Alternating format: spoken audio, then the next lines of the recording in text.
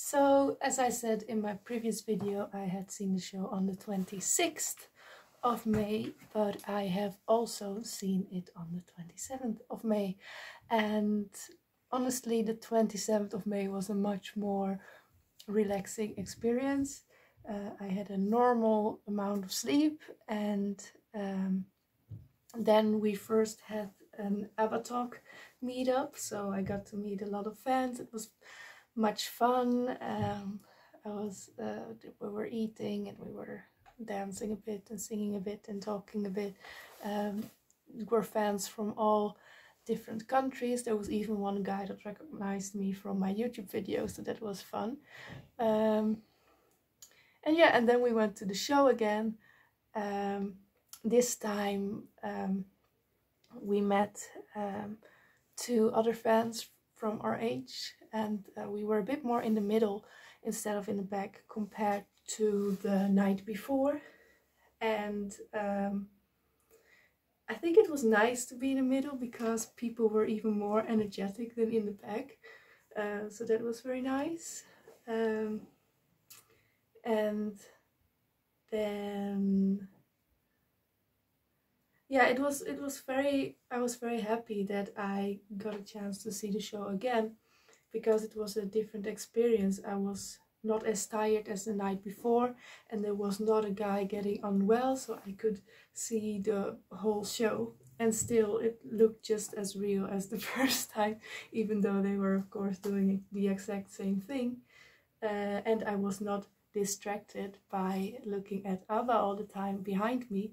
Um, and later I saw on Facebook that Benny and Bjorn had been in the audience as well, the 27th, so that was cool.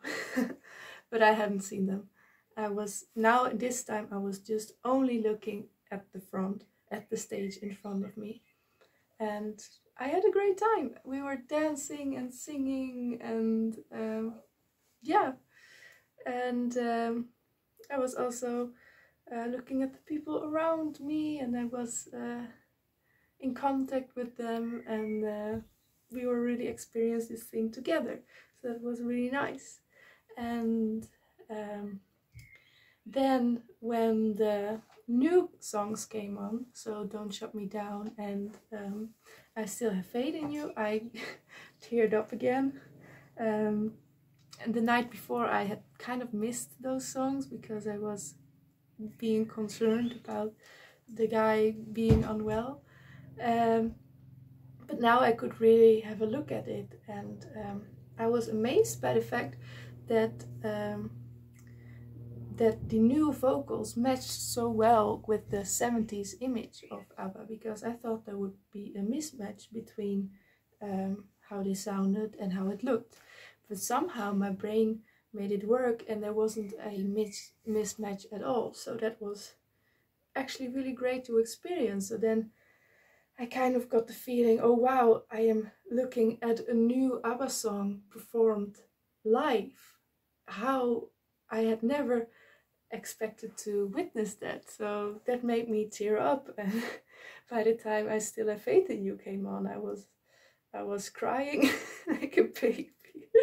I feel a bit ashamed of that, but I think um, I think that might have been the idea of the producers to evoke the emotions. So I can say that they managed to do that in me, uh, at least. Um, and yeah, but at the end of the show, I did feel a bit sad that. Uh, well, I was very happy, of course, but also I had this mixed feeling of, well, now the real ABBA is, uh, well, is is done, is is ready, and uh, this is it. Well, this is it. That's a bit disrespectful to say because this thing is amazing, but like the feeling of it being over after after having such a period with so much going on around ABBA, and now you've seen the show, and now I didn't expect to see a few songs another time, but I will talk about that in my next video.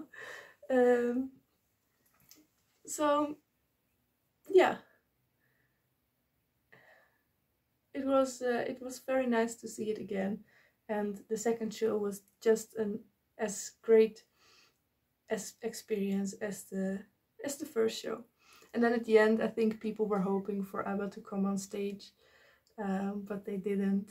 Um, that was okay, I'd seen them the night before. Um, but if I would have missed the premiere, I would be quite sad. But I didn't miss the premiere, so yeah, it was amazing. The second night was just as amazing as the first night. I mean, the show, it's it's great. It's awesome.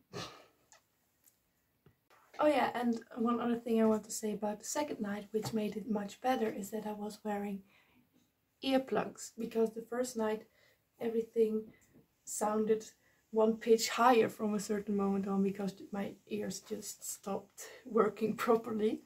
But the second night I had earplugs and it made it sound so much better. So if you're going to watch a show, just take earplugs and uh, it will make it much better, I promise.